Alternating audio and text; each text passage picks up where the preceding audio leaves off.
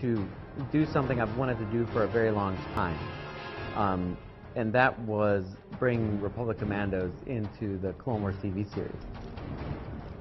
Now, I played the game Republic Commandos, uh, you know, when it came out. I really loved that game, and I've said before that the cinematics from that game really kind of influenced me as to what I thought the Clone Wars could be. It had such a great, you know, look at the world uh, from the trooper's point of view.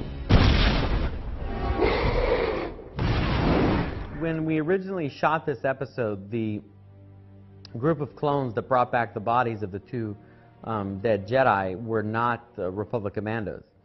It occurred to me this would be really good if it was these commandos that were bringing back the bodies of these Jedi. So I felt very strongly that the fans um, deserved it. You know, I wanted to put the commandos in for a while, and here was the opportunity.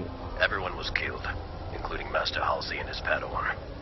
In the past, only Dooku's assassin was capable of such an effort. But she was presumed dead at the Battle of Sullust. It was a, a very great thing the crew did here because they weren't in the initial design build. And there's a limit to how many things we can actually make in any one episode.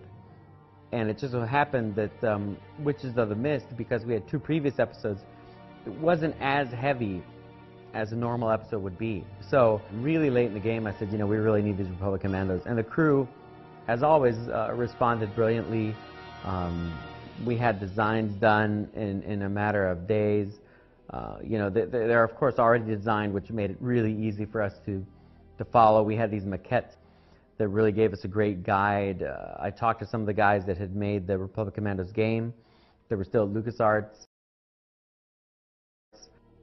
Um, Joel Aron, my CG supervisor, was getting these shots in, and he had had this idea that what if we had them arrive in the rain? And I thought, Joel, that would be great, but uh, you know, rain and water and Clone Wars haven't really been the best of friends over the years. But Joel has just been breaking new ground constantly with um, effects in this series, and when that shuttle door opens and water's dripping off it and in the rain, it just sets the perfect mood um, for the sequence, and uh, the fans judging from the reaction in Celebration 5, really appreciated it.